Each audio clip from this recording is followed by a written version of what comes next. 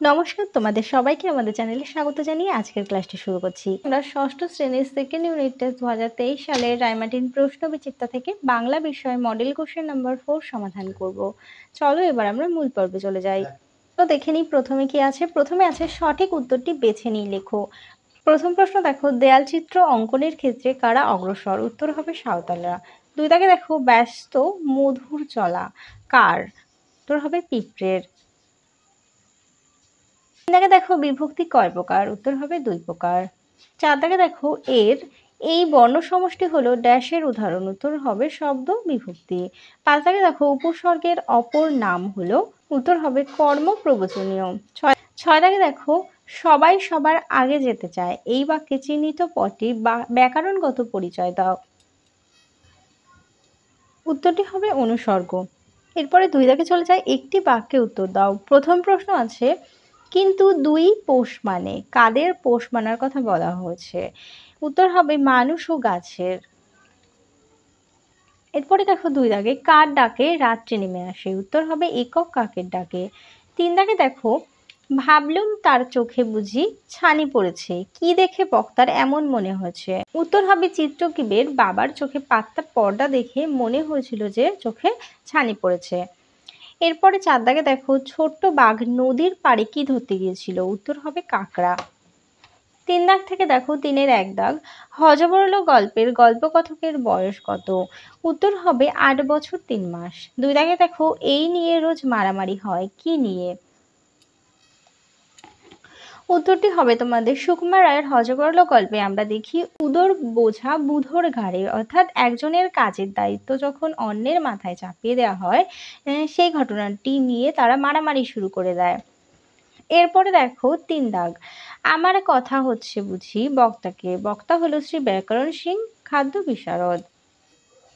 এরপরে দেখো চার দাগে, নির্দেশ অনুযায়ী প্রশ্নগুলোর উত্তর দাও। প্রথম প্রশ্ন আছে, দেখো, গ্রামের সঙ্গে শহরের যে এখনও নারীর টান, এই নারীর টানের প্রসঙ্গ কীভাবে এসেছে তা মরশুমির দিনের গল্প অবলম্বনে লেখো।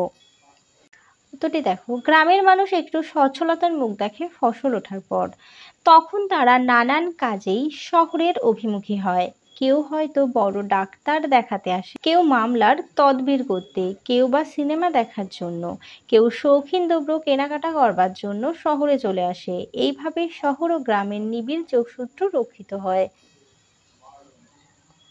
দুই দাগে দেখো, পৃথিবী সবার হোক। পৃথিবী কীভাবে সবার হবে তা আশীর্বাদ গল্প অবলম্বনে লেখো। উত্তরটি দেখো, দক্ষিণারঞ্জন মিত্র মজুমদারের আশীর্বাদ গল্পে আমরা দেখতে পাই প্রকৃতিকে প্রবল বর্ষণ চারিদিক জলে থই থই। একটি পিঁপড়ে বাঁচার জন্য আশ্রয় নেয় ঘাসের পাতায়। পাতাটি পিঁপড়েকে সাহস দিয়ে বলে তাকে শক্ত করে ধরে রাখতে। ঘাসের সাহসিকতায় দেখে বৃষ্টি তার প্রশংসা করে।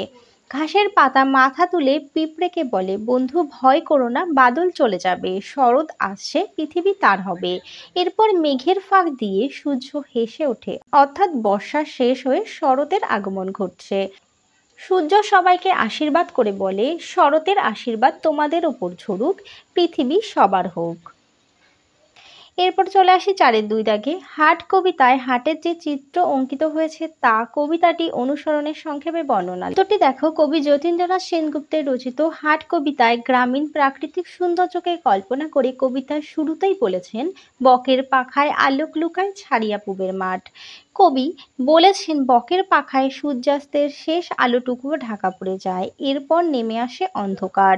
দূরের সব গ্রামগুলোতে তখন সন্ধ্যা প্রদীপ চলে ওঠে, কিন্তু হাট পড়ে থাকে অন্ধকারে। সেখানে প্রদীপ জ্বালানোর মতো কেউ থাকে না। নদীর বাতাস পাকুড় গাছের শাখায় বাধা পেয়ে প্রশ্বাস ছাড়ে। কিন্তু দিনের বেলায় সেখানে নানা চেনা অচেনা মানুষের ভিড় থাকে। প্রয়োজন ফুরিয়ে গেলে সেই হাটের কথা আর কেউ মাথায় রাখে না। এমন এই প্রাকৃতিক চিত্র কবি প্রকাশ করেছেন হাট কবিতায়।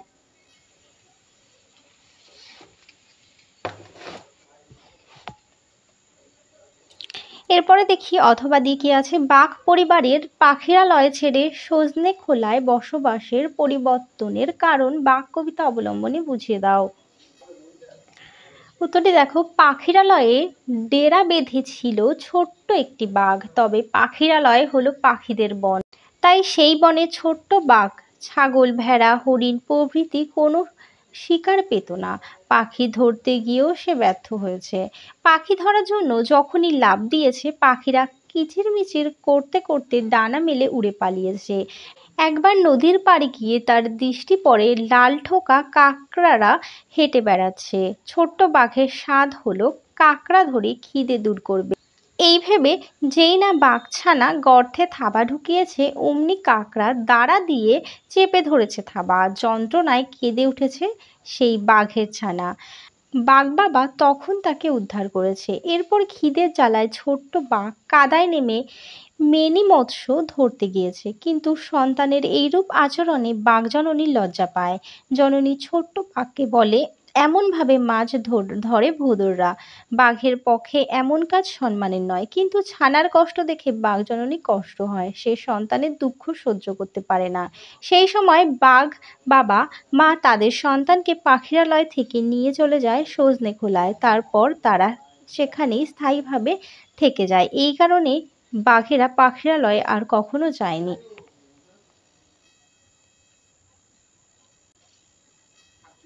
চলো পাঁচ নাম্বারে দেখি কি আছে। পাঁচের এক দাগে দেখো, একটি চমৎকার গল্প বলব, গল্পটি বর্ণনা করো। পেজে আছে, প্রশ্নোক্ত অংশটি সুকুমার রায় রচিত হজবরল নামক গ্রন্থ থেকে নেওয়া হয়েছে।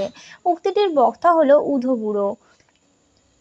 উধো কথাগুলো বলেছে গল্পকথকের উদ্দেশ্য করে। উধো একটি মজার গল্প বানিয়ে বলে যে, ঠ্যাং ঝোলানো কথকের পাশে বসে হুকো দিকে টেকো মাথা চুলকোতে চুলকোতে চোখ বুঝে কিছু ভাবতে লাগল। এরপর হঠাৎ করে গল্প বলতে থাকল, বড় মন্ত্রী তারপর রাজকন্যার গুলিসুতো খেয়ে ফেলেছে।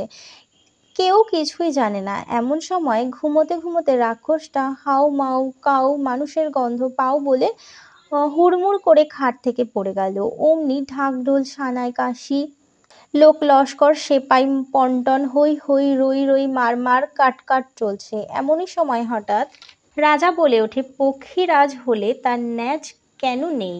রাজারা রাজার কথা শুনে পাত্রমিত্র, ডাক্তার, মুক্তার, আক্কেল, মক্কেল সবাই বলতে থাকে ন্যাচ কি হলো? এবার জবাব দিতে না পেরে সবাই সুর সুর করে পালাতে লাগল। এই গল্প বুধো, বুড়ো কথককে বলেছেন। এরপরে দেখো, তুমি এমন সাংঘাতিক রকম হাসছো কেন? হাসির কারণ হজবর্ণ গল্প অবলম্বনে বর্ণনা কর।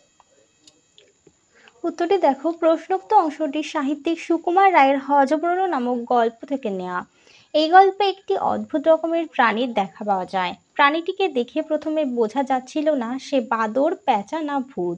এরপর সে নিজের পরিচয় দিয়ে জানায়, তার নাম শ্রী ব্যাকরণ সিং। প্রাণীটির মাথায় অদ্ভুত ধরনের গল্প ঘুরতে থাকে। আর সেগুলো সে বলতে বলতে হেসে মাটিতে লুটিয়ে পড়ে। বিভিন্ন সময় সে নিজের আত্মীয় স্বজনদের নাম বিভিন্ন রকম বলে আর হেসে লুটিয়ে পড়ে।